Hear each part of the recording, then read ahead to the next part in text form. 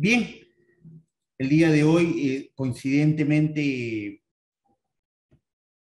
perdón, coincidentemente con este webinar, 13 de enero del 2022, no podríamos dejar pasar, sobre todo nosotros como escuela profesional o escuela de posgrado, universidad y el que le habla como psicólogo de vocación, no podíamos dejar pasar en una fecha tan especial para nosotros, tan significativa sobre todo. El día de hoy, 13 de enero, Día Mundial de la Lucha contra la Depresión. Como sabemos, un trastorno del estado de ánimo, un trastorno que cada día avanza en, cantidades por estos temas que, coyunturales, con este tema de la, del COVID, el tema de la pandemia que se ha ido desarrollando, los índices se han disparado con los trastornos del estado de ánimo, al igual que los trastornos de ansiedad y los estrés postraumáticos. Hoy, 13 de enero, Día Mundial de la Lucha contra la Depresión, quería tomarme algunos dos minutos para tocar y hacer una breve remembranza y reflexión.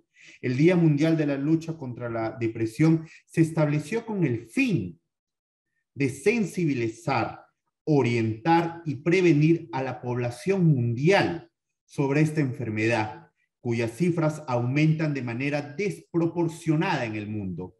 La Organización Mundial de la Salud advierte que la depresión puede convertirse en un problema de salud serio, especialmente cuando es de larga duración e intensidad moderada a grave, y puede causar gran sufrimiento y alterar las actividades laborales, escolares y familiares en el peor de los casos puede incluso llevar al suicidio, siendo la segunda causa de muerte en el grupo etario de 15 a 29 años de edad.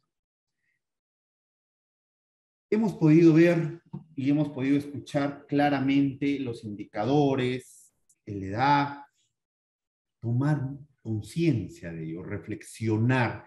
Muchas veces consideramos solamente que este tema de la depresión en consulta a veces eso se ve, ¿no? Cuando dicen psicólogo, pensé que solamente era una tristeza, pensé que solamente estaba triste, desanimado, estresado y desmotivado. Pero cuando hemos podido ver en las consultas, en la entrevista, en la evaluación, en el diagnóstico, me puedo dar claramente cuenta que lo que tengo es un trastorno, que no solamente tiene eh, un origen o una explicación psicológica, social, sino también una explicación bioquímica. Y por eso lo importante que en algunos de los casos, la importancia de trabajar con equipos multidisciplinarios. Los profesionales en el aspecto de salud mental, el psiquiatra, el psicólogo, el psicoterapeuta, haciendo un trabajo mancomunado, conjunto, para poder darles la oportunidad de, de un pronóstico más favorable a estos pacientes.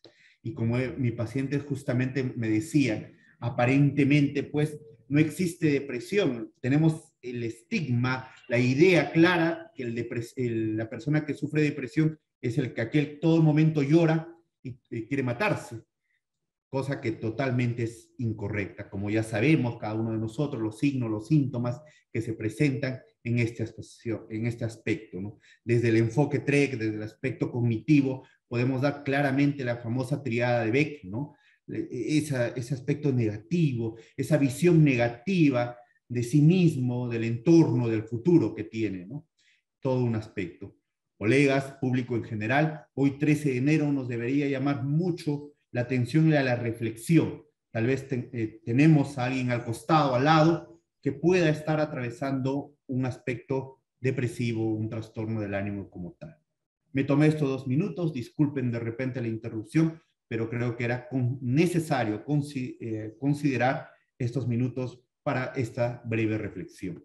Sin más, colegas, pasamos eh, a este aspecto. El trabajo psicoterapéutico en problemas de pareja desde el enfoque de la terapia cognitiva y TREC. Exacto. Qué importante hoy por hoy es el trabajo psicoterapéutico que podamos dar en problemas de pareja qué importante tiene en, coyunturalmente. Como ustedes saben, las tasas de divorcio, separaciones han aumentado coincidentemente, paralelamente en el aspecto de esta pandemia. Los divorcios, las separaciones, los temas de infidelidad se han duplicado, se han triplicado en cantidades, en estadísticas, y eso nos ha puesto un nuevo reto a los psicoterapeutas, el trabajo especializado, el trabajo muy profesional que se debe llevar en el aspecto de psicoterapia de parejas. En nuestra consulta, a veces en el día a día, pues encontrábamos usualmente trabajos individuales, intervenciones individuales, pero hoy por hoy las solicitudes para terapias de pareja se han hecho eh, el pan de cada día, comunes en cantidad eh, en, ese aspecto. En ese sentido, tenemos que nosotros como profesionales ir eh, teniendo más aptitudes profesionales para este aspecto. ¿Cómo abordar? Porque hay que entender que las personas que acuden a nosotros como psicólogos, como psicoterapeutas, no acuden para escuchar el mismo consejo, el consejo que pueda venir de parte de una persona. No pueda venir eh, de un amigo, de una amiga. Tenemos que tener ese abordaje profesional. Muchas veces, por ejemplo, en consulta, venían pacientes y me decían, psicólogo. Hace dos, tres días he acudido a otro psicólogo y me mencionaba y me decía que tengo que hacer esto, que tengo que hacer el otro, tengo que ir al gimnasio, teñirme el cabello, tener que cambiarme de look, verme más atractiva. Y carambas, y, y yo me quedaba eso, ¿dónde, en qué teoría está? ¿En qué enfoque terapéutico menciona ese tipo de cosas? Entonces decía, hay que tener mucho cuidado, colegas. Para el abordaje de la psicoterapia o atención en parejas, hay que tener mucho tacto y mucho cuidado en ese aspecto. Tampoco, y hay que tener criterios. Hace unos días comentando, conversando con algunos colegas también, me mencionaban y me decían, oye Luis, eh, tuve una consulta psicológica de pareja y fíjate tú, se terminaron discutiendo, tiraron mi puerta, no me pagaron, me decía todavía, inclusive me decía, pero te dije, ¿cómo has abordado? ¿Cómo has realizado tu abordaje terapéutico? No vaya a convertirse tu consultorio, tu oficina, tu despacho, como tú lo quieras llamar, en una, en una sala de talk show, en el cual una grita, el otro grita, cada uno este, y al final todos, nadie se entiende y se convierte esto en tu show. Entonces, esa no es la idea. Y justamente la necesidad de tener un trabajo especializado, ordenado, y qué mejor pues el enfoque eh, cognitivo y TREC para podernos dar esas pautas claras. Algo que nos distingue a los terapeutas cognitivos conductuales, TREC, es esa minuciosidad, ese aspecto obsesivo, esa agenda terapéutica que manejamos, procedimiento por procedimiento que nos, nos caracteriza, ¿no? De repente, si por ahí tenemos unos rasgos medios obsesivos, algunos rasgos medios específicos, ordenados, específicos, entonces, nos asentamos bien en esta terapia porque claramente la terapia ayuda mucho en esos aspectos. En ese sentido, la gran importancia de trabajar el, eh, el aspecto de psicoterapia en parejas. El día de hoy vamos a hablar básicamente de dos grandes eh, teóricos, de Albert Ellis y Aaron Beck, padres de la terapia cognitiva conductual. Hay discusiones, le comento, para muchos mencionan que eh, Aaron Beck es el padre, el pionero, pero bueno, les comento algo y de repente algunos me puedan refutar. Hay estudios específicos que también eh, Albert Ellis, inclusive con mucho más tiempo en aspectos eh, cronológicos, inició la terapia cognitiva conductual y de repente por un tema de llevarlo ya a publicaciones, Aaron Beck se llevó el crédito de repente. De repente por ahí algunos me dicen, no, no es así o no. Bueno, será motivo de en algún momento de debatir esos aspectos, de repente en un café terapéutico o de repente en alguna exposición que nos pueda llevar a eso. Pero menciono claramente que ahí hay un tema muy, muy particular. Entonces, vamos a utilizar a estos dos eh, teóricos como base fundamental de lo que hoy puedo transmitir a ustedes. Aaron Beck y Albert Ellis. ¿De acuerdo? Muy bien. Proseguimos entonces. con nuestra eh, siguiente diapositiva. El día de hoy tengo un aspecto muy, muy bonito que vamos a trabajar. El índice es la introducción, el surgimiento y desarrollo, la comprensión de los problemas de pareja, qué es una buena relación, objetivos de la terapia con parejas. En segundo aspecto, hay que ver la evaluación. La evaluación desde el enfoque TCE de TREC tiene características propias, en la cual hay entrevistas conjuntas, hay entrevistas individuales, hay aplicación de inventarios y cuestionarios. ¿Qué más? Hay una exploración de la familia de origen, el establecimiento de un compromiso de tratamiento, la evaluación de los pensamientos o creencias de las parejas, que obviamente nos caracteriza a los TC, a los TREC, ¿no? El tratamiento o intervención, que también tiene sus particularidades y nos distingue a cada terapia, ¿no? Por ejemplo, el contexto, la alianza terapéutica, la educación en el modelo cognitivo TREC, el reconocimiento de la influencia de sus emociones en sus reacciones, la identificación y cuestionamiento y reemplazo de ideas irracionales, la identificación de distorsiones cognitivas, el análisis y reformulación de distorsiones. En ese sentido, también podemos ver el análisis de predicciones, el uso de la imaginería en juego de roles, el incremento de lo positivo en la relación, el entrenamiento en habilidades de comunicación, el entrenamiento en solución de problemas, entre otras técnicas. Fíjense ustedes todo lo que tiene que abordarse, lo que se tiene que tocar en estos grandes aspectos de abordaje psicoterapéutico desde la TC en problemas de pareja.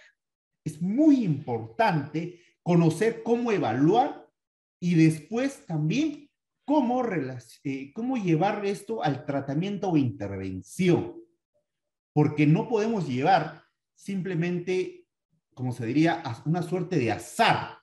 Colegas, si por ahí no tenemos la experiencia necesaria, de repente, de repente recién estamos saliendo de pregrado, tenemos algunas experiencias y por ahí nos llega un casito de terapia de pareja, por favor, preguntarse en primer momento, ¿cómo estoy en la actualidad yo? ¿Estoy estable en mis emociones? ¿Estoy lábil tal vez? ¿O tengo un conflicto justamente en el área de pareja? nosotros los psicólogos, los psicoterapeutas, no somos ajenos a problemas como tales. Somos seres humanos ante todo, antes de inclusive eh, ser profesionales. Somos seres humanos que también tienen ese aspecto de qué? De, esa tendencia irracional, de esos instintos de, pensamientos irracionales, de experiencias negativas, de experiencias eh, de conflicto, que son necesariamente como profesionales trabajarlas, obviamente. Y eso nos invita una vez más a entender la gran importancia que tenemos como psicólogos y psicoterapeutas de cuidar nuestra salud mental para que no te conviertas en un agente contraproducente para tus pacientes, para tus tratantes, para tus clientes. ¿Por qué? Imagínese usted que le suceda a un paciente X que hace algunos años tuve en un hospital, en el hospital Víctor Larco Herrera. ¿Y qué sucedió? Me dijo, psicólogo, acabo de salir del consultorio de, eh, de al lado y no se imagina lo que me dijeron. E inclusive me dijeron, oye, dame tu número y ¿sabes qué? Y salimos, y salimos y yo también estoy pasando un, problema similar. Entonces, cuidado, colegas cuidado con el abordaje y tomo esto en, mención también por la frecuencia que está pasando este tipo de cosas. La gran frecuencia. Cuidado, colegas. Si nos encontramos nosotros en un problema como este, es mejor derivar, porque de repente tu conflicto está abierto, no está tratado, no está cerrado.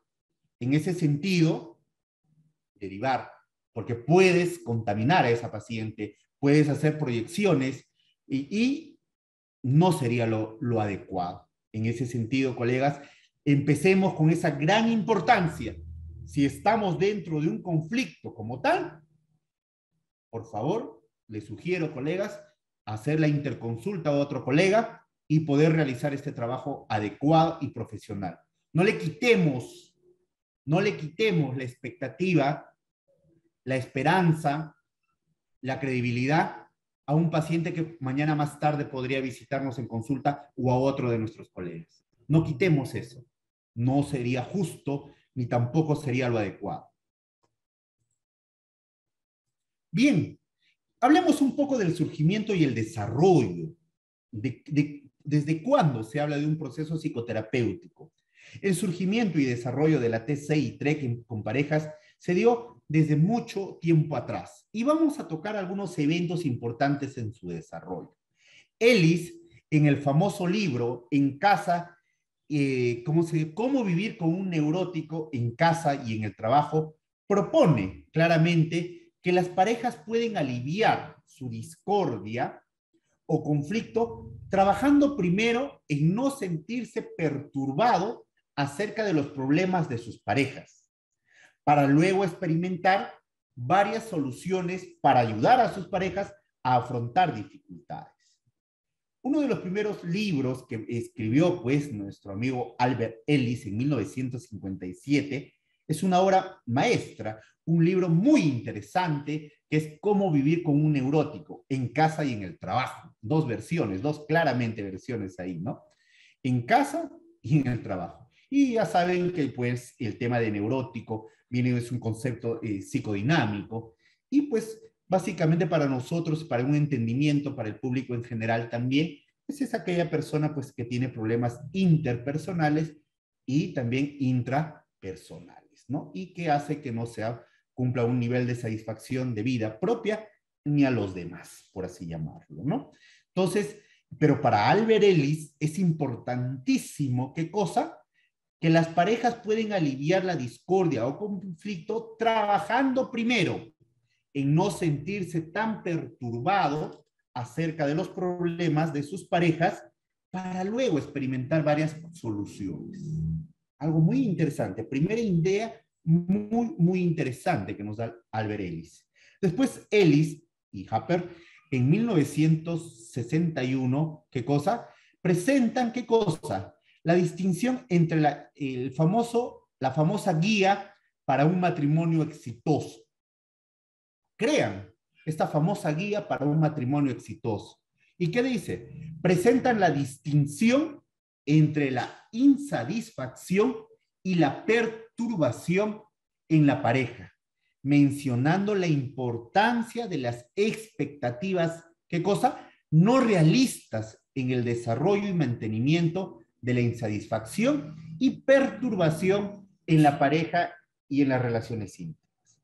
Y eso es algo claro que podemos ver cada día en, en, en las relaciones que se puedan dar, inclusive en las nuestras propias. ¿Cuál? Ese aspecto de qué cosa? De esas expectativas no realistas que tenemos. Y una de las expectativas clásicas, típicas, usuales, comunes es esa expectativa que creen que ya por ser pareja, por ya tener un vínculo de relación, la otra persona debería comprenderme, debería leerme, debería saber cuáles son mis necesidades, cuáles serían, cuáles deberían ser mis deseos, qué debería yo, qué debería mi pareja cumplir en ese sentido.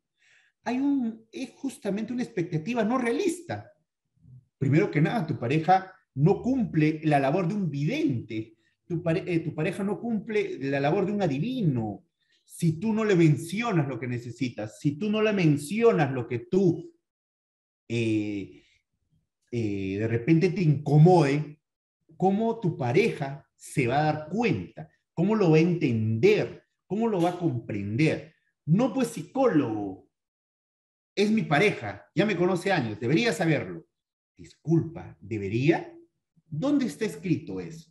Hay un dogma que porque estar dentro de una relación significa que la otra persona debería adivinar lo que yo pienso, mis deseos. ¿Existe? No, no existe. O al menos que alguien me diga, sí, psicólogo, hay un dogma donde dice sí. No hay, no existe que debería ser. No existe esa, eh, esa explicación para ello. No existe donde diga, mi pareja debería cumplir todas mis expectativas de mi vida. ¿Dónde está escrito eso? ¿Dónde? psicólogo, en ese sentido, pero usted me está diciendo que, que, dónde está escrito, dónde no es así, él debería hacerlo, disculpen.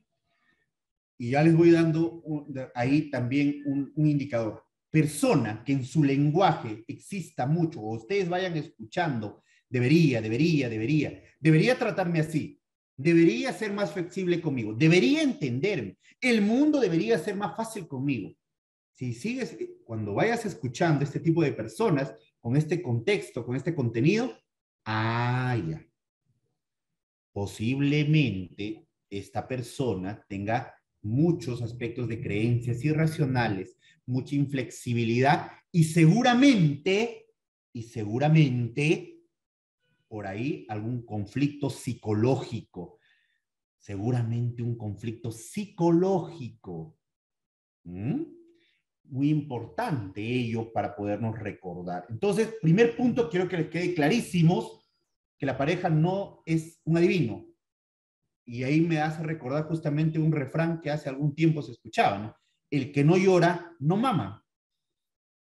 El que no habla, el que no solicita, el que no dice, no espere ser escuchado.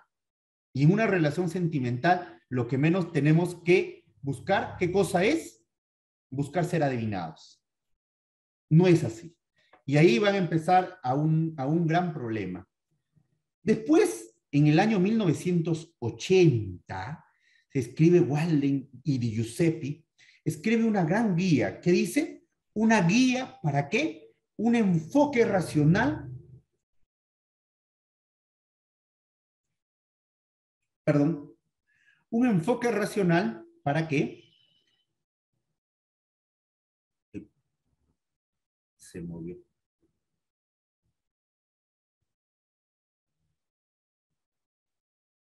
Un enfoque racional para la consejería matrimonial y divorcio.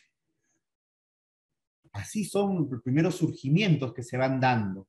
Con frecuencia las parejas, dice, creen que ambos hablan el mismo lenguaje.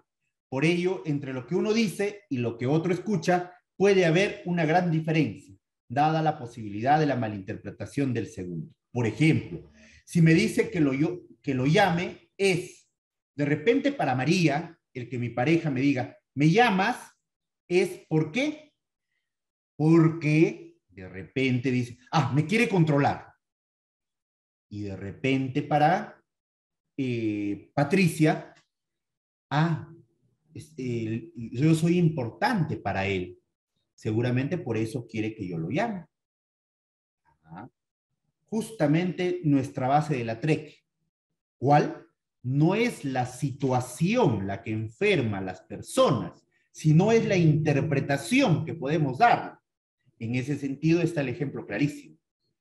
Algo tan simple como tal, me llamas, uno dice, seguro me quiere controlar, y el otro interpreta que se está preocupando por mí. ¿Cuál será tu interpretación? tú misma ahorita te estarás preguntando eso, ¿no? Estoy escuchando esta, este webinar el día de hoy. Y cuando, por ejemplo, hay otro, otro ejemplo muy, eh, muy jocoso en el sentido, ¿no? Llamas a tu pareja uno, dos, tres veces, no te responde. ¿Qué se te viene a la cabeza? No me digas. Piénsalo y respóndetelo a tú mismo. De repente muchos dicen, ah, eh, está ocupado, está en sus trabajos, no, está haciendo algún deporte o de repente le pasó algo. O de repente alguien, no, seguro está con otra persona. De repente me está engañando. ¿Mm? Es tu interpretación basada seguramente en algunos antecedentes que de repente por ahí tengas, algunos aspectos de otras relaciones anteriores que te hayan dejado ya eso y tú no los hayas superado, que tú no lo hayas trabajado. Yo escucho por ahí muchos aspectos en sesiones cuando dicen, psicólogo, yo ya olvidé a mi ex por si acaso, ya, ya no trae, mi ex ya es cosa olvidada, ya pisada y olvidada todavía mismo. Y cuando, y digo, yo estoy viniendo por un problema actual con una nueva pareja. Y cuando empezamos a indagar justamente eso, vemos que el conflicto anterior en el cual hubo por ahí algún problema de infidelidad, problemas de comunicación, violencia física, problemas en el aspecto económico, en el aspecto de satisfacción sexual, en el aspecto de las áreas eh, recreacional de pareja, no todavía no ha superado el hecho del conflicto, no ha trabajado ese aspecto que en algún momento lo lastimó, le generó un conflicto, no le ha dado el entendimiento suficiente, simplemente no lo ha tocado. Hay una gran diferencia, colegas, en el hecho de que uno se dice, ¿no? Se dice, ya lo superé, entre el tiempo lo hace todo. El tiempo, por más que pase, si tú no haces algo, no, no realizas psicoterapia, lastimosamente no va a borrar nada. Mañana más tarde vuelves a estar en una relación y tus conflictos van a seguir. Así es que el tiempo solito no es un remedio en su totalidad. ¿Que puede menorar la intensidad del malestar? Claro que sí. Pero si no tiene un abordaje terapéutico, ¿De qué estamos hablando? ¿De qué superación o de qué solución a tus conflictos le decimos? Y ahora entiendo por qué, de repente ahora también ustedes entienden y comparten en el hecho de que por qué personas que se divorciaron hace 15, 10 años están iniciando nuevas relaciones y tienen problemas y dicen, ¿por qué sigo teniendo los problemas de hace 15 años con otra persona? ¿Será que de repente no has tenido eh, no has solucionado tus conflictos? ¿Mm? o de repente simplemente echaste la culpa a la otra persona. Y de antemano ya les digo, colegas, cuando hay un problema de pareja es 50-50, hay responsabilidad mutua para ello. No, psicólogo, está totalmente equivocado. Si hay un tema de infidelidad, es netamente del que es infiel. Carambas, habría que analizarlo, habría que analizarlo. La responsabilidad recae en los dos. Y te aseguro que también ambas partes tienen, ¿qué cosa? Parte de responsabilidad. En ese gran pastel de responsabilidades, le aseguro que también ambas partes de una pareja tienen su responsabilidad. Se da entonces los errores o distorsiones cognitivas, las cuales se realizan con frecuencia en las relaciones de pareja conflictivas, en el momento de interpretar y valorar la conducta o actitud de nuestra pareja. Imagínense ustedes, estamos hablando inclusive de los problemas de pareja en solamente en errores de interpretación. Imagínense ustedes si estas parejas tienen trastornos de personalidad, tienen trastornos del estado de ánimo. Claro que sí. Pues. Y es por eso cada vez la explosión, eh, eh, la frecuencia que se transmite en los problemas de pareja. ¿Por qué? Porque es más frecuente ya tener síndromes clínicos, trastornos del ánimo, trastornos ansiosos, es más frecuente los trastornos de personalidad y obviamente una persona con trastornos de personalidad, obviamente que va a presentar pues inflexibilidad, distorsiones del pensamiento, eh, creencias irracionales, de acuerdo al trastorno de personalidad que pueda tener. Imagínense ustedes. Entonces, si estamos hablando supuestamente en personas con una salud mental de cierto grado no patológica, Imagínense si hablaríamos netamente de patología más extrema. La cosa se convertiría aún más gris. Pero eh, el sentido de este webinar tampoco es asustarlos, colegas. Tranquilos, para los que están solteros, de repente, no, mejor no me caso, me están diciendo. Entonces, no es así, no es así, colegas. Tampoco es asustarlos, tampoco es, pero sí es un tema serio. Una relación de pareja es un tema muy serio. Como por ahí leía en algunos flasher, en algunos, en algunos aspectos, en el cual les decían, ¿no? Si no estás preparado para iniciar una relación con madurez, no, no, eh, no, no, eh, no crear movimientos emocionales en la otra persona. Y claro que sí, claro que sí. Esa gran responsabilidad que, que embarga. Si no estás preparado, vamos, si solamente es porque te sientes solo, porque quieres compañía, carambas, mejor ir eh, a, ir y ver ese aspecto y trabajarlo con un psicólogo. De repente tu vacío existencial, tu vacío permanente, no sea causa de falta de pareja, sea producto de un tipo de trastorno, de repente personalidad o un síndrome clínico que por ahí esté latente. ¿Mm? Recuerden eso. Hay que, hay que ver, hay que analizar esos aspectos. Pasamos a la siguiente diapositiva. Inicialmente se creía para que se dé un cambio efectivo en una relación de pareja, lo más importante era incrementar el número de intercambios positivos. A un inicio había un enfoque muy conductual en terapia de parejas, en el cual solamente nos preocupábamos en el hecho de intercambiar o incrementar el número de intercambios positivos. Por eso los terapeutas de antes escuchaba, oye, que sí, eh, que regálale de repente un detallito, las salidas, que recuerden de repente cómo iniciaron su relación, eh, que palabras, cinco o dos, tres palabras eh, agradables a tu pareja, durante el día. Bien, en un primer momento esa era la clave prácticamente, ¿no? Se basaba mucho en el aspecto conductual. Pero ahora los tiempos han, cambiado y también se han incorporado más técnicas. Como ustedes han podido ver en el índice, hay mucho más técnicas en ese sentido. Si bien las técnicas conductuales pueden ser efectivas, muchas veces no son capaces de provocar en forma directa cambios cognitivos de actitud claramente. El aspecto solamente conductual no va a cambiar, no va a modificar ese aspecto de repente del, conflicto. ¿Por qué? Porque es un aspecto de reforzador simplemente. Y recuerden, si hablamos de reforzadores, de condicionamientos, se extinguen si no se mantienen, si no se refuerzan debidamente y pueden eh, perder inclusive el poder eh, de reforzador en el tiempo nos volveríamos simplemente conductuales, comprar, comprar, decir, decir, pero no hay, la interpretación no cambia. En ese sentido, la TC y la TREC pone ese aspecto cognitivo, pone ese aspecto cognitivo. Oye, yo tengo distorsiones, yo tengo conflicto, yo tengo creencias. Oye, yo hay un antecedente, una vida que yo vi tengo una predisposición genética, temperamental, tengo un aspecto caracterológico que mis padres me dieron, su relación cómo fue, mis relaciones propias cómo fueron antes de conocerte, Juanita Pérez, y vengo con todo eso. Cuán importante, cuán importante eh, es ese aspecto, ¿no? Cuán importante. Aún recuerdo al gran maestro, eh, el doctor Fernando Maestre, en sus grandes programas de, en RPP era tabú. Qué gran importante, y, él mencionaba ¿no? claramente esa importancia de ver, eh, eh, los, eh, ver esos aspectos que se tenía que tener en cuenta en una relación.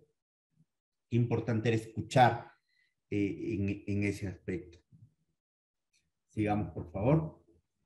Acá hay un círculo muy importante, ¿no? El círculo vicioso de lo positivo. ¿Cómo empieza? Yo recibo una conducta agradable que interpreto que mi pareja desea que me sienta bien. Me agrada. Decido comportarme de igual manera. Mi pareja interpreta que yo deseo también que se sienta bien. Le agrada. Mi pareja decide comportarse a sí mismo de forma agradable. Qué bonito que este círculo vicioso siga así. Pero como todo en la vida, este círculo va a tener momentos, situaciones y en otro momento pues el círculo se convierte en un círculo vicioso negativo, donde yo no recibo nada, interpreto que no le importo, no me agrada, decido comportarme de igual manera, mi pareja interpreta que yo tampoco lo quiero y al final dos echaditos de espalda en el dormitorio sin hablarse, sin tocarse y sin decir nada. Y cada uno teniendo sus ideas ahí. Seguro no me quiere, seguro está pensando en el otro, seguro no lo me ama, por eso no me dice. Y cada uno con su mundo de pensamientos, cada uno con su interpretación, cada uno con su costal ahí de pensamientos hablando que esto, que aquello, que el otro, que esto, que sí, que carambas, carambas. Y hoy invito, colegas y público en general, lo importante que es la comunicación elemental requisito elemental en una terapia de pareja, en una relación de pareja, ¿cuál es ese aspecto? el aspecto de la comunicación asertiva, adecuada, permanente, continua, que tiene que existir. No te sientas mal, Margarita, de compartir y mencionar a tu pareja que te sientes incómoda por un aspecto conductual, una conducta que pueda tener tu esposo. No te sientas mal, Juan, si esta actitud que te ha manifestado o que viene manifestando tu pareja te incomoda. Háblalo, dilo, coméntalo, analícenlo. No, esperan, no esperen que estas interpretaciones cada vez lo distancien más y más y más y más y más. Y cuidado ahí, que cuando hay interpretaciones de ese tipo, más y más más tarde, en ese, en ese sentido, ¿qué sucede? Lamentablemente empieza ya otros problemas. Ah, ya, ella no me da, ella no me quiere, yo no lo quiero, él no me quiere. La relación tiene vida propia. La relación sentimental, el vínculo afectivo, el apego que ustedes puedan tener con su pareja, tiene vida propia. ¿A qué le llaman eso, psicólogo? ¿Cómo que vida propia? A pesar de los problemas, a pesar de las dificultades, la relación va a querer persistir, va a querer seguir existiendo en vida. En ese sentido, ¿qué va a hacer? Lo que a veces, muchas veces hace. Robar oxígeno de otros vínculos para seguir manteniéndose la relación. ¿A qué me refiero? Enredos emocionales con otras personas supuestamente con otras personas están tranquilos, están bien, te la pasan chévere, llegan calmados para soportar el infierno de la, de la relación. Entonces, fíjense ustedes de qué hablamos. Cuidado, cuidado con eso. Cuidado, porque empezar a alejarnos con la pareja con el tema de la comunicación, las muestras afectivas, las muestras de afecto, nos puede colocar en un abismo tan largo en el cual de repente ya no hay retorno, colegas, o el retorno sea muy difícil, o en el cual ya genere tanto dolor uno al otro en base a nuestras conductas que de repente sea mucho más difícil de sobrellevar. La comprensión de los problemas de pareja. La terapia cognitiva y TRE con parejas enfatizan pues el trabajo en los procesos de pensamientos y creencias de cada uno de los miembros de la pareja, dado que las expectativas no realistas que tienen cada uno suelen ser el alimento para los problemas de la relación. Fíjense ustedes la gran importancia de cómo comprender los problemas de pareja. Desde nuestro enfoque TC y TRE, para nosotros claramente el trabajo es en dónde en los procesos de pensamiento y las creencias de cada uno de los miembros de pareja. Por ello mismo, en el abordaje, en la terapia, va a haber momentos, sobre todo en la evaluación, momentos de entrevistas conjuntas y entrevistas individuales. Inclusive dentro de un aspecto ya procedimiento en sí de tratamiento o intervención, sesiones individuales muy importantes. A veces creemos que solamente la terapia de pareja es sentarnos los tres y conversar. ¿Va a llegar algún momento? Sí, pero a veces los conflictos están tan, tan intensos, el malestar, el conflicto, entonces definitivamente hay que modificar, hay que ver cómo se va a trabajar. Por ejemplo, Eli señala que la disfunción matrimonial sucede cuando los esposos mantienen expectativas no reales sobre el matrimonio y cuando no están satisfechos hacen evaluaciones negativas. Es, gracioso, ¿no? O sea, tenemos expectativas no realistas, como la expectativa que les decía.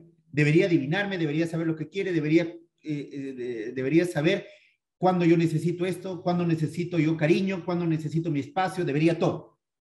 Pero como no se cumple esa expectativa irreal, ¿qué sucede? Ah, ya, no es una buena mujer, no es un buen hombre, no es para mí. Carambas. Y hoy por hoy se ha convertido eso, pues lamentablemente nuestras relaciones descartables, ¿no? Que a la primera cosita, no, no es para mí. No es para mí. Y, hay, que, hay que entender, ¿no? Hay que comprender eso, ¿no? hay una cultura, sí. El divorcio es una alternativa. La separación es una alternativa que cuando ya lo intentaste, cuando ya saludablemente ya, ya no se puede más porque te está dañando, lo entiendo, lo comprendo. Inclusive, a pesar de que exista hijos, es entendible. ¿Por qué? Porque más daña una relación de padres en un vínculo totalmente patológico que una, un divorcio. Está comprobado estadísticamente y no me dejarán mentir los colegas aquí presentes que en consulta recibimos ese tipo de casos. Entonces, fíjense ustedes, hay que entender esa gran magnitud. Y lo peor de todo, no me cumplen las expectativas irreales, ilusionas, no realistas y lógicas. Y todavía digo, ah, ya, esta mujer o este varón no es para mí. ¿No será acaso que tus expectativas no son realistas? ¿No será acaso que estás exigiendo cosas eh, eh, irreales? Que tus expectativas dentro de un círculo de relación no son las adecuadas, no son creencias racionales, no son racionales, no son flexibles. ¿Mm? Y lo peor de todo es que hacemos evaluaciones negativas no de la conducta de la persona. Evaluamos en global. Mala mujer, mal varón. No para mí.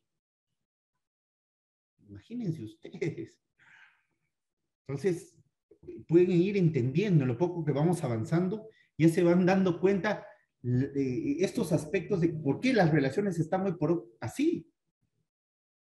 ¿No? Y otro gran mito, antes que se me vaya la idea, y les diría, ¿no? Otro gran, otra expectativa irreal es creer que porque ya tengo un vínculo afectivo con alguien, ya la relación debería funcionar, ya debería saber todo de mí. No es así. Que ya porque tenemos hijos, que porque ya tenemos ocho años de relación, ya no debo trabajar en mi relación. Carambas.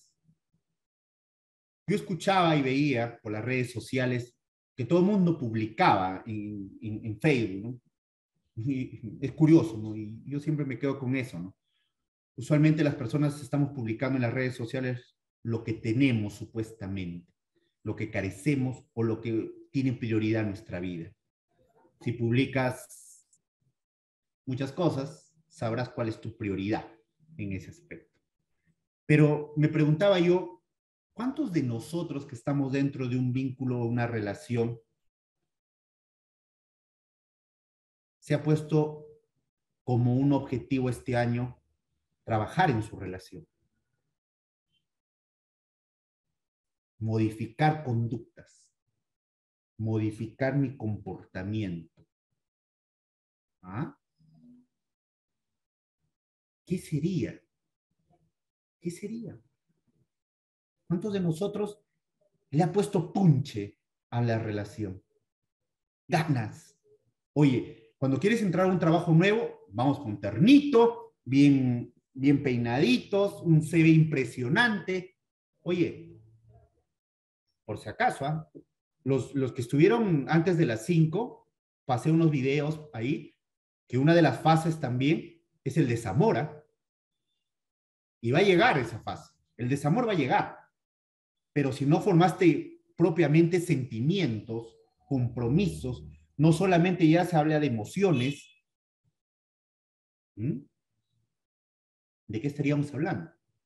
Si tu relación no evolucionó en el tiempo, si tu, tu relación no evolucionó en ese, en ese aspecto, ¿en qué nos quedamos? no porque yo tengo ya hijos con esa persona, no porque yo tengo una casa, un carro, significa que esta relación va a ser para siempre. Y les comento, la fase del desamor llega. Y si tu relación no evolucionó, no se generó compromisos, no evolucionó en sentimientos, en trascendencias, estás condenado ¿Mm? Los miembros de la pareja suelen, suelen que sus dificultades de pareja se dan por no contar habilidades de comunicación adecuadas. Claro que sí, como les mencionaba, ¿no? Si no lo hablas, no lo exteriorizas, no pienses que la otra persona ni siquiera, ni siquiera los, eh, los gemelos monocigóticos piensan de la misma manera, se comportan de la misma manera, sienten de la misma manera, mucho menos tu pareja, pues. Mucho menos tu pareja, que vino de otro vientre, que tiene otras, eh, otras eh, expectativas, que tiene otras experiencias, que tiene otra crianza. Imagina. Sin embargo, lo que se observa es que la pareja se encuentra difícil el comunicarse entre sí cuando uno o ambos se siente emocionalmente muy afectado, herido, con cólera, deprimido o ansioso. Claro que sí.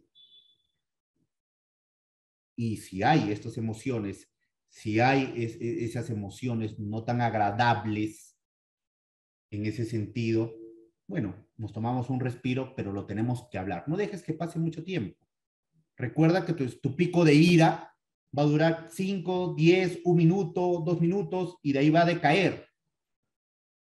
Tu temor también, tu pico alto y va a decaer. Entonces, de cólera igual. En ese sentido, en ese sentido, trabaja tranquilo. Date tu tiempo, tu respiro, tu respiro para poder trabajarlo. Porque no podríamos, el hecho, no puede quedar nada al aire porque si te queda acá dudas, vas a dar pie a interpretaciones. Y las interpretaciones, por instinto, por tendencia del ser humano, son irracionales. Y más aún si has tenido experiencias conflictivas, traumáticas, más aún.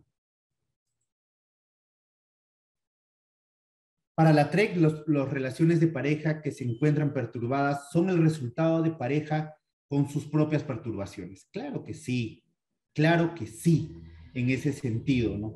Es nuestras propias perturbaciones la que dañan a la relación. Por eso, el trabajo individual es muy importante, porque recuérdate, son una pareja, es cierto, han creado un vínculo, cierto, pero cada uno de ustedes han venido, vienen de una relación de, un, de, otros padres, de estilos de crianza y de tus propias perturbaciones. Tal vez trabajando tu propia perturbación sea más, más saludable, más tranquilo, más viable. ¿Qué cosa? Tu convivencia, tu relación. Y de repente no necesitas, oye, psicólogo, yo quiero que venga mi esposo o mi esposa a terapia de pareja y vamos a salir de esto juntos. Tranquilo. Es tu deseo, pero si no lo quiere, empecemos contigo. Tranquilo, tranquilo, tranquila. De repente modificamos algunos aspectos, algunas interpretaciones reestructuramos y de repente puedes lidiar con esto, puedes entender o comprender, o de repente te das cuenta que eras un, un, predisponente un agente predisponente, detonante de tus problemas de pareja. Tal vez, ¿no? Entonces, o tus expectativas fueron muy irrealistas de repente. ¿Mm? Entonces, tener mucho cuidado en ese sentido. Si se quiere ayudar a las parejas a vivir contentos y satisfechos como pareja, como pareja, primero deben mostrarse satisfechos y saludables consigo mismos. Elemental para la TREC. Nosotros los psicoterapeutas, y eso tenemos que hacerles entender cuando nos solicitan el servicio de terapia de pareja, que nosotros no cumplimos la labor de repente sacerdotal, religiosa, de que sí o sí los queremos juntos. No. Y tienen que entender que dentro de un proceso psicoterapéutico, tal vez el objetivo no va a ser o no va a ser que ustedes terminen juntos o que la relación se retome. No. Para nosotros, primero, es que como ser individual te sientas satisfecho y saludable. Y después, el tema de pareja, si así la relación lo da. Por eso, nosotros no aseguramos el hecho de que a pareja, cuando viene una relación de pareja, sí o sí van a volver o van a retomar su relación. Tal vez la terapia le servirá para dejar el conflicto, las emociones no saludables, bajarlas, nivelarlas a un aspecto normal y después de repente darse cuenta que no es que no, no es que existe expectativas irreales con esta persona, simplemente que sus conductas no son compatibles conmigo y un buen apretón de manos y de repente fue un gusto. Fue un gusto. Hay que entender que la terapia de parejas pues no es sí o sí te quiero juntos, a pesar que el otro se esté muriendo, el otro sí y el otro no, no. No, no. Y, y, tener cuidado, ¿no, colegas? Eh, que usualmente después de una crisis, y sobre todo algo que yo he encontrado, que después de crisis o episodios de violencia psicológica, violencia física, violencia sexual, usualmente, como dice, el comodín de los agresores es vamos a terapia y con eso tratan de convencer una vez más a las víctimas, a las, a las personas, a la otra parte, a las parejas, de que pueden continuar su relación con terapia. Es más, todavía dicen, psicólogo, lo que sea, dígame usted, 10, 20, 30 sesiones, yo lo pago, de inmediato es más. Así viene, ¿eh? así viene. Pero te das cuenta que en la segunda, tercera solución ya viene sola la señora. ¿Qué pasó con su esposo? Vuelve a lo mismo. Mm. Bueno, pues hay cositas que, se van dando en el camino. Es frecuente observar también en estas parejas un patrón de interacción caracterizado por un tipo de comunicación negativa, solo críticas, ¿no? O ninguna comunicación, aislamiento. Si se junta ahí la comunicación negativa, solo críticas y encima un aislamiento producto de la crítica, cuidado, alarma, SOS, tu relación está entrando en una crisis. ¿Qué es una buena relación entonces? Quiero que al menos esto nos quede claro. Mucho de la literatura en terapia de parejas se enfoca en cómo las personas pueden ser ayudadas en lograr relaciones satisfactorias. La TREC, a partir de ello, se pregunta, ¿qué es una buena relación de pareja? La TREC propone que una buena relación será aquella que otorgue satisfacción y experiencias placenteras o agradables a cada uno de los miembros en ella, a cada uno de los miembros de la relación en el largo del plazo, en lo largo del plazo, en lo largo que dure la relación. Pues, ¿Qué es una buena relación? Es aquella que otorgue satisfacción en experiencias placenteras o agradables. Esto no quiere decir que no exista algún episodio de repente de, de cierto grado de conflicto. Ojo que no estoy hablando de patología, de cierto grado de conflicto. Sin embargo, hay que tener, sin embargo, hay que tener en cuenta lo que es satisfactorio o placentero es personal. Lo que hay que, eh, claramente, ¿no? Y en terapia de pareja, y, eso justamente criticaba y, hablábamos con algunos colegas en el hecho de que, por ejemplo, hay en radios locales, en radios de, nacionales, a veces hay invitados, ¿no? Psicólogos, psicoterapeutas, y dicen tips para las relaciones de pareja. Y yo les digo algo, las reglas del juego en una relación las colocas tú y tu pareja. Psicólogo, a mí me gusta hablar 30 veces al día con mi pareja, llamarlo 20 veces al día. ¿Y cómo se siente tu pareja? Lo entrevistas, me encanta, me siento bien, estoy tranquilo. Dime tú como psicoterapeuta, ¿modificas algo ahí? ¿O vas a imponer tu criterio personal ahí? Vas a decir, no, lo mínimo, lo máximo es tres llamadas, está invadiendo tu este. ¿Mm? Tener mucho, mucho cuidado con ello, colegas, en ese sentido. Hago una, una, breve, una breve coma ahí eh, en ese aspecto. Y le preguntaría, Talía eh, o Lisset, eh, ¿continuamos un poquito más pasamos a la ronda de preguntas? Sin duda alguna hay mucho que poner. El tiempo sé que es bastante limitado en este, en este webinar. Por favor, estoy al tanto de ustedes. Sí, profesor, continuamos un poco más para luego pasar a la ronda de preguntas, por favor. Correcto.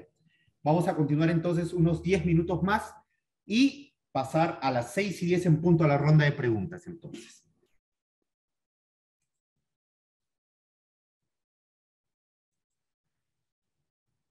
¿Qué es una buena relación? Lo que es satisfactorio cambia con el tiempo, ya sea para la persona o pareja. Y eso también tenemos que entender, ¿no? Que las etapas, la edad, las situaciones, las responsabilidades cambian. Con eso también cambia, pues lo que era satisfactorio antes, ahora a veces ya no lo es. Y hay que estar en una búsqueda constante. Y eso es lo bonito, la magia de todo estar en una relación, porque nada es estático. Y los profesionales de salud mental lo sabemos nada es estático. Entonces, en ese sentido, es agradable seguir conociéndonos aún más. Yo conozco a mi pareja de la palma, como la palma de, mi mano, dicen algunos. Bueno, pues, si eres feliz creyendo esa falacia, ¿qué te puedo decir? Porque el conocimiento de una u otra persona es toda una vida y nos faltaría vidas tal vez les aseguro. No hay problema, no hay alguna característica o estándar que debe ser cumplido para hablar de una buena relación. Así es. La definición que la TREC hace de una buena relación de pareja es absolutamente flexible, sin estándares absolutos con respecto a lo que las parejas deben o no deben hacer en sus relaciones.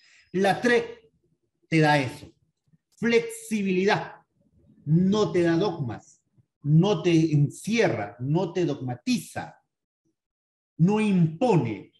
El estilo de nosotros, los psicoterapeutas TREC, es flexible. No vas a encontrar, o no deberías, o no se debería, no sería adecuado encontrar un terapeuta TREC que quiere imponer su criterio de él a la persona, a la pareja. No es lo adecuado. La flexibilidad en la teoría Trek es, es clara y es propia de nosotros. Entonces, en ese sentido, entender claramente ello. Los terapeutas que trabajan con pareja asimismo deben tener cuidado de no trasladar sus expectativas, de los que ellos piensan que deben o no deben hacer una relación. Como ya les decía, ¿no? Eso tener muy, muy en claro eso. Tus expectativas, cuidado, son tus expectativas. Tu expectativa, Juanito Pérez, no es la expectativa de tu paciente. Cuidado, que para ti, tu paciente o tu pareja debería tener ta, ta, ta, ta, ta, ta, eso es para ti, Juanito Pérez, no para tu pareja o no para tu paciente. ¿De acuerdo? Siendo el, el contenido, el, contenido cognitivo y en particular las creencias de cada uno los que llevan a los conflictos en relación de pareja, la terapia se enfocará en reducir o eliminar las consecuencias emocionales y las conductas no saludables. Claro que sí. Si trabajamos el aspecto eh, del contenido de las creencias, en esas expectativas no realistas, en esa evaluación negativa o de condena que se tiene en base a no cumplimiento de las expectativas no realistas, si reestructuramos trabajamos, intervenimos ahí, hacemos nuestro debate, nuestras técnicas, les aseguro que el paciente va a empezar a qué? A tener emociones más saludables y conductas más adaptativas. ¿Y eso qué quiere decir en términos de pareja? Una, una relación que lleva a niveles mayores de satisfacción individual y mutua. ¿Mm? En este sentido, los aspectos cognitivos son claves para nosotros, que el terapeuta debe trabajar con las parejas son, dice, ¿no? La modificación, como les mencionaba, de creencias o expectativas irracionales. Básicamente, en, pareja, vamos a tener una creencia base que trabajar, las expectativas no realistas, porque la pareja tiene muchas expectativas no realistas con su pareja. Como ya les dije, ¿no? Múltiples. Debería entenderme, debería amarme, debería ser más cariñoso, debería hacer esto, debería comprenderme, debería escucharme, debería no tratarme así, debería, debería cocinar como mi madre. Ya, ¿de qué hablamos? ¿De qué hablamos? Entonces, la corrección de supuestos o atribuciones falsas en sus interacciones, claramente, ¿no? La primera, la modificación de creencias netamente desde la TREC y la corrección de los supuestos o atribuciones desde el aspecto de TC, ¿no? En la terapia se destina gran esfuerzo a comprobar la realidad de las creencias de cada uno sobre sí, su pareja y su relación, ya que se dañan la satisfacción de la pareja y provocan respuestas disfuncionales. Cuestionando y reestructurando las creencias de cada miembro de la pareja, se favorece a una relación más satisfactoria, sin duda alguna. Si reestructuramos, pues primero cuestionamos. Hay que cuestionar esa creencia irracional que cada uno tiene, esa expectativa irracional que cada uno de los miembros de esa pareja tiene. Cuestionar, cuestionarla en el aspecto lógico, dogmático, práctico. ¿Para qué? Para que pueda, podamos tallar esa creencia que está tan dura acá como chip, ahí. Entonces, eso nos va a permitir, ¿qué cosa? Cuestionar que pueda iniciar una reestructuración, iniciar una reestructuración con nuevas interpretaciones que te permita tener nuevas emociones más saludables y conductas más adaptativas. Eso como primera parte, la TREC. Y después la aplicación de técnicas emocionales, conductuales, cognitivas, para reforzar la nueva creencia o nueva filosofía de vida o creencia racional que va a tener el sujeto. Entonces, eh, eso es eh, muy importante. Entonces, fíjense ustedes, Al respecto, él señala que dentro de los objetivos de la terapia TREC con parejas se requiere ayudar a cada uno en la pareja a, primero, darse cuenta que ellos mismos pueden estar haciendo algo de manera equivocada y no solo que sus parejas podrían estar haciendo. Claro que sí. Devolverle la responsabilidad, porque usualmente vienen a terapia y dicen, me hace, me hace, me hace, me hace, o él es, o, ¿qué cosa? Él es el culpable, culpable, culpable, culpable. Carambas. Lo pintó como un ogro o lo pintó como una obra. Ya, muy bien. Ahora sí, háblame de ti. Quiero escucharte. Lo encuadramos, ¿no? Lo encuadramos. Entonces, eh, es, es genial ese aspecto ver que detrás de sus errores en su forma de pensar hay suposiciones e ideas no realistas. Por supuesto que sí. Tus interpretaciones, tus creencias, ¿qué cosas? Hay un trasfondo de una suposición no realista. Cuestionar sus suposiciones y creencias de forma enérgica y constante, realizando acciones que prueben que son infundadas a diferencia de otros enfoques terapéuticos, de una falsa psicología positiva, de un falso coach en temas de pareja, que he visto que todavía inclusive se atreven a ser coach de pareja, carambas, carambas. Definitivamente, bueno, bueno, cada uno sabe en qué invertir su dinero, pero bueno, coach ¿Mm? ¿Mm?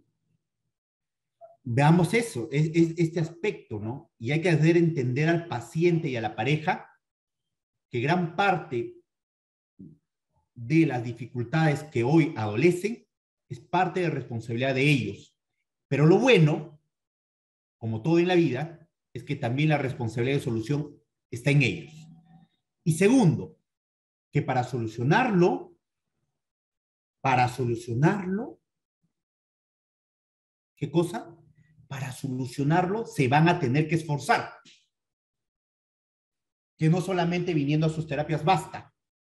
van a tener que hacer los ejercicios, van a tener que aplicar las técnicas conductuales, que van a tener que hacer las encuestas, que van a hacer sus tareas cognitivas, que van a hacer los aspectos emocionales.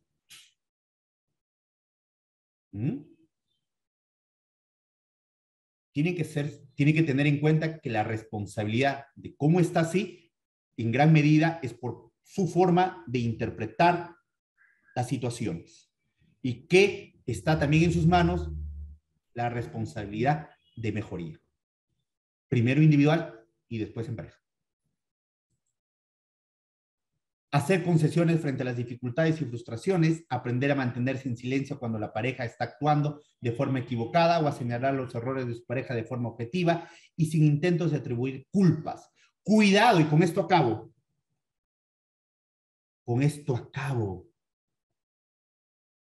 Cuidado con esta estrategia inconsciente o consciente en algunas personas de trasladar, dar, meter, como quieran decirlo, culpa a la otra persona. ¿En qué sentido? ¿En qué sentido? Generar esos aspectos ¿no? de culpabilidad. En los vínculos de relaciones hay mucho aspecto. Las parejas, ¿qué cosa? llevan, ¿qué cosa? Trasladan, brindan, ¿qué cosa? Culpabilidad a la otra persona. ¿Para qué? Si yo te hago sentir culpable, tú vas a estar, ¿qué cosa? De cierta manera, queriendo que no sentirte culpable. ¿Y con qué predisposición? A, a someterse, a sometimiento la estrategia básica de manipulación encubierta en muchos aspectos.